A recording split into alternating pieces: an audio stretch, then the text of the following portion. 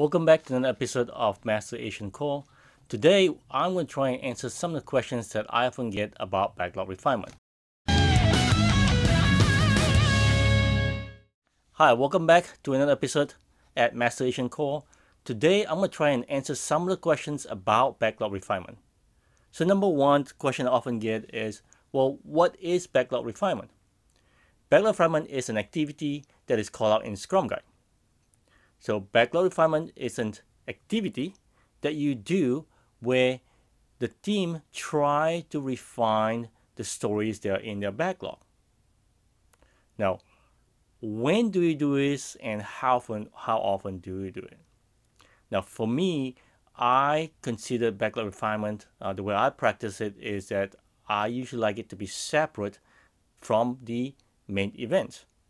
Now, I've seen some people where they have backlog refinement where it is part of sprint planning.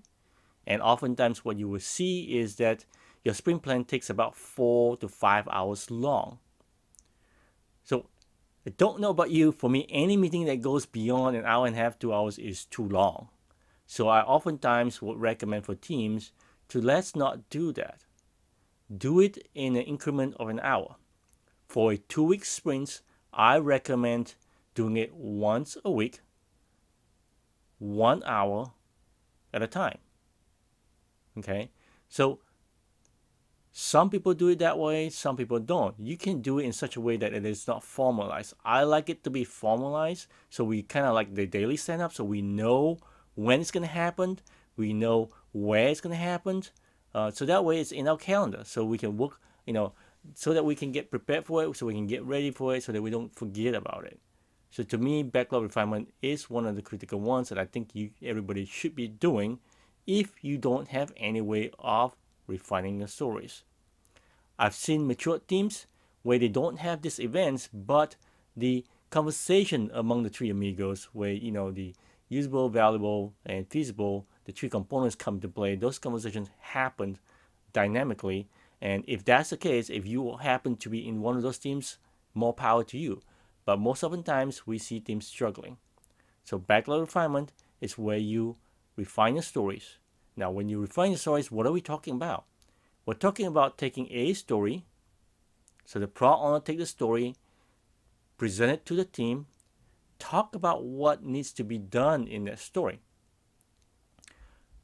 Product owner may provide some acceptance criteria. Um, so and possibly some information that is needed for it, right? It doesn't have to be perfect, just good enough so we can show it to the team. The team's going to take a look at it and decide if it has all the information that they need to do the work.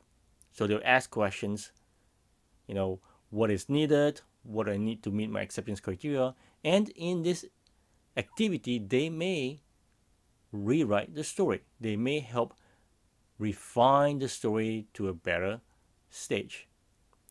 Now, out of backlog refinement, the idea here is that we want to get stories in front of the team so they have enough time to look at the stories, questions it, provide enough information, ask information, so that they have they're clear when it comes to sprint planning on what to do or during the sprint. So the last thing they want to make sure of is that is the story ready for work? So there's this concept of definition of ready. Do I have what I need? Do I have enough information? Right? Not detail, but enough information for me to bring it into my sprint. Ideally, before you bring in sprints, you want to have a size. So how do you do sizing? So you do a relative estimation. Most oftentimes, you do story points, planning poker. So this is where you know, you go through exercise of figuring out the sizes, everybody throw out their points, have a conversation about it, you know, make sure we all are on the same page as to what is needed for it. So once it met those criteria in terms of the team understand what is needed, the team knows how to accomplish the work, and there is a size to it, then I would consider the story is ready. Once it's ready, I would say it now meets the definition ready, so it is ready to be put in. So we don't need to do much with it other than that's it. Unless there are changes that happen. Unless the product owner has more information before the story get pulled into the sprint uh, that changes the story. So it's not a one-time deal. Most often, uh, what I do see is I don't expect stories to go into backlog refinement today and be ready tomorrow. Usually it goes to a couple rounds of backlog refinement before it is meeting the definition already. Okay, so don't force yourself into it. If it's the story is not ready, then put it back. So it could be that the first time product owner presents it, it is missing a couple of things. Product owner may need to go back and get the answers to the questions that the team asks. Or they may have to rewrite some story, or they may have to split the stories. Okay, so take that time, the team takes the time to say, okay, let me see if this is good to go. All right. One of the things I caution on trial, I said, this is not a gated system. Okay, don't treat it as a gated system. The story needs to be just good enough to pull into the sprints. And this is going to be different by by teams. Some teams going to have more rigid, some teams going to have you know more fluid stuff. So it's okay, but as long as the team understands what is needed to do the work. One of the mis one of the practice I see people taking on, and I think it's kind of because they're engineers, is that they like to go into detail on how to solve the problem, like the tasking and things like that. That's not what backlog refinement is for.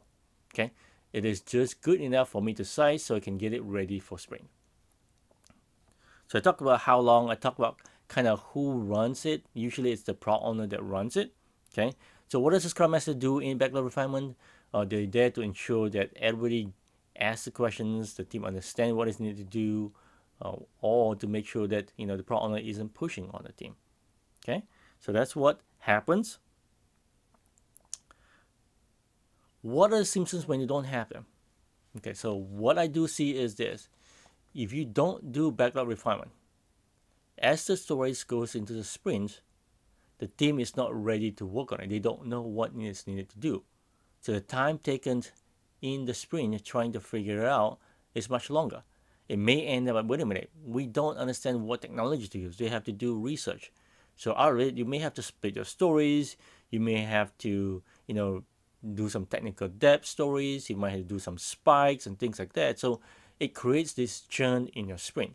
So what we would like to do is to say, well, let's do this up front. Find out if there's any dependencies, find out if there's any technical challenges, things like let's let's re let's get better at writing our stories so that when we get to it, we stand a much better chance of completing the story. Now, this is not like waterfall. We're not trying to get every design specs uh, line up. Just enough. The key here is just enough. Okay. So the other thing that I've seen is that backlog development happens as part of sprint planning. And to me, it just takes too long. Okay. It's confusing people and it to me it just takes too long. It's a four or five hours meeting in a week, that is really long. Okay, some of you may argue that, hey, you know, I'd rather spend four or five hours uh, instead of, you know, small chunks along the way, along the, the week, right? If that's what you want to do, that's cool. Uh, one of the caution I want to ask you is make sure you call out exactly what you're trying to do.